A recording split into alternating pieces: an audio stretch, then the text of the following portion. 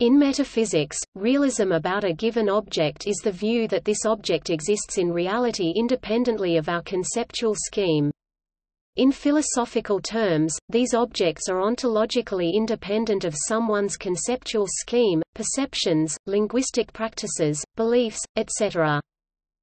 Realism can be applied to many philosophically interesting objects and phenomena, other minds, the past or the future, universals, mathematical entities such as natural numbers, moral categories, the physical world, and thought. Realism can also be a view about the nature of reality in general, where it claims that the world exists independent of the mind, as opposed to non-realist views like some forms of skepticism and solipsism, which question our ability to assert the world is independent of our mind.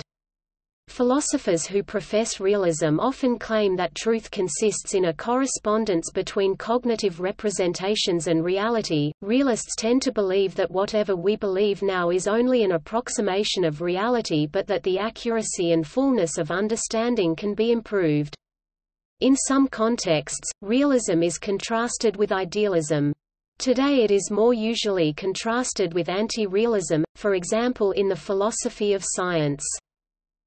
The oldest use of the term, realism, appears in medieval scholastic interpretations and adaptations of ancient Greek philosophy.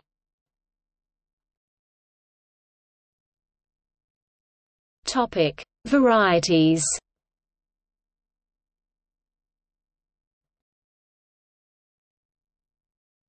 Topic: Metaphysical realism. Metaphysical realism maintains that whatever exists does so, and has the properties and relations it does, independently of deriving its existence or nature from being thought of or experienced.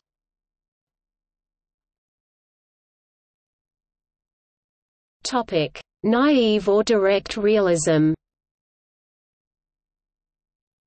Naive realism, also known as direct realism, is a philosophy of mind rooted in a common-sense theory of perception that claims that the senses provide us with direct awareness of the external world.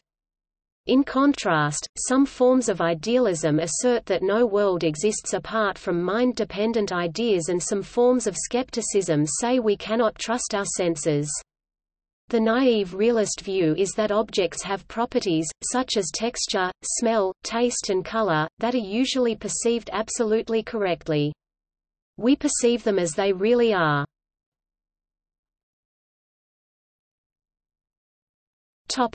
Scientific realism Scientific realism is, at the most general level, the view that the world described by science is the real world, as it is, independent of what we might take it to be. Within philosophy of science, it is often framed as an answer to the question, how is the success of science to be explained? The debate over what the success of science involves centers primarily on the status of unobservable entities apparently talked about by scientific theories. Generally, those who are scientific realists assert that one can make reliable claims about unobservables viz., that they have the same ontological status as observables. Analytic philosophers generally have a commitment to scientific realism, in the sense of regarding the scientific method as a reliable guide to the nature of reality. The main alternative to scientific realism is instrumentalism. Topic: Realism in physics. Realism in physics especially quantum mechanics is the claim that the world is in some sense mind-independent, that even if the results of a possible measurement do not pre-exist the act of measurement, that does not require that they are the creation of the observer contrary to the consciousness causes collapse interpretation of quantum mechanics. That interpretation of quantum mechanics, on the other hand, states that the wave function is already the full description of reality. The different possible realities described by the wave function are equally true. The observer collapses the wave function into their own reality. One's reality can be mind-dependent under this interpretation of quantum mechanics.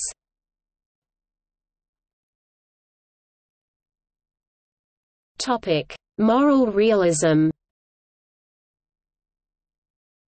Moral realism is the position that ethical sentences express propositions that refer to objective features of the world.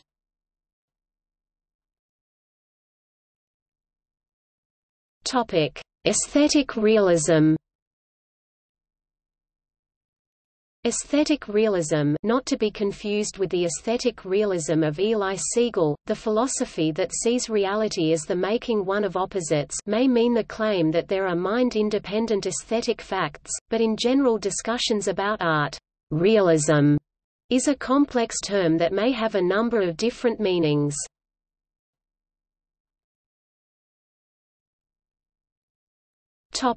History of metaphysical realism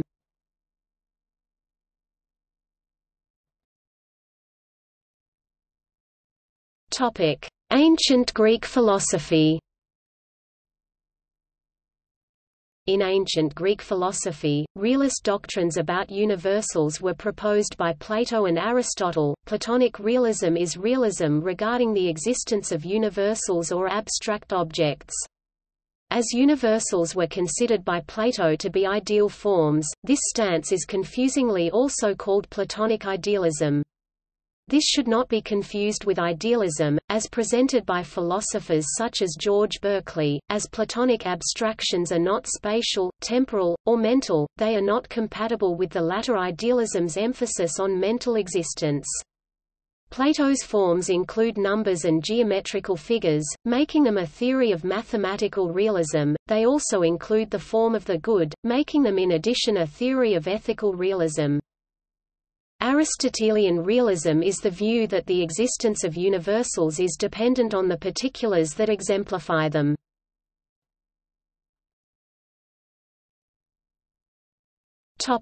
Medieval philosophy. Medieval realism developed out of debates over the problem of universals. Universals are terms or properties that can be applied to many things, such as red beauty, five, or dog. Realism also known as exaggerated realism in this context, contrasted with conceptualism and nominalism, holds that such universals really exist, independently and somehow prior to the world. Moderate realism holds that they exist, but only insofar as they are instantiated in specific things, they do not exist separately from the specific thing. Conceptualism holds that they exist, but only in the mind, while nominalism holds that universals do not exist at all but are no more than words that describe specific objects. Proponents of moderate realism included Thomas Aquinas, Bonaventure, and Duns Scotus cf. Scotist realism.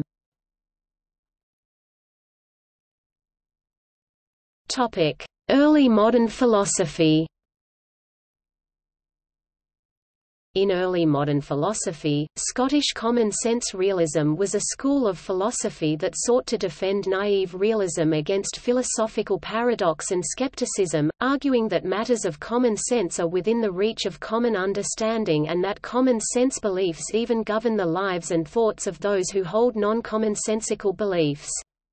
It originated in the ideas of the most prominent members of the Scottish School of Common Sense, Thomas Reid, Adam Ferguson and Dugald Stewart, during the 18th-century Scottish Enlightenment and flourished in the late 18th and early 19th centuries in Scotland and America. The roots of Scottish common sense realism can be found in responses to such philosophers as John Locke, George Berkeley, and David Hume. The approach was a response to the ideal system that began with Descartes' concept of the limitations of sense experience and led Locke and Hume to a skepticism that called religion and the evidence of the senses equally into question. The common-sense realists found skepticism to be absurd and so contrary to common experience that it had to be rejected. They taught that ordinary experiences provide intuitively certain assurance of the existence of the self, of real objects that could be seen and felt and of certain first principles upon which sound morality and religious beliefs could be established. Its basic principle was enunciated by its founder and greatest figure, Thomas Reid. If there are certain principles, as I think there are, which the constitution of our nature leads us to believe, and which we are under a necessity to take for granted in the common concerns of life, without being able to give a reason for them, these are what we call the principles of common sense, and what is manifestly contrary to them, is what we call absurd.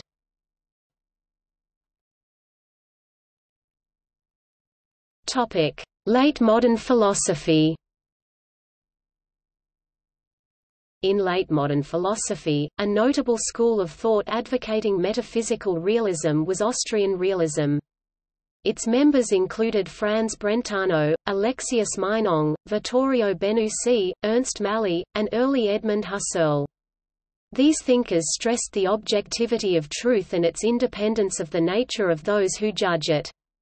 See also Graz school. Dialectical materialism, a philosophy of nature based on the writings of late modern philosophers Karl Marx and Friedrich Engels, is interpreted to be a form of ontological realism. According to Michael Resnik, Gottlob Frege's work after 1891 can be interpreted as a contribution to realism.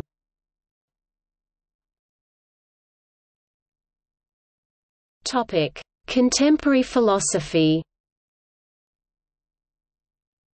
In contemporary analytic philosophy, Bertrand Russell, Ludwig Wittgenstein, J. L. Austin, Karl Popper, and Gustav Bergmann espoused metaphysical realism. Hilary Putnam initially espoused metaphysical realism, but he later embraced a form of anti-realism that he termed internal realism. Conceptualist realism a view put forward by David Wiggins is a form of realism, according to which our conceptual framework maps reality. Speculative realism is a movement in contemporary continental-inspired philosophy that defines itself loosely in its stance of metaphysical realism against the dominant forms of post-Kantian philosophy.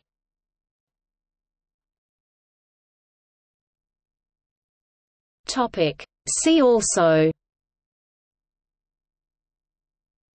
Critical realism Dialectical realism Epistemological realism Legal realism Objectivism Philosophy of social science Principle of bivalence Problem of future contingents Realism disambiguation Truth-value link realism Speculative realism Notes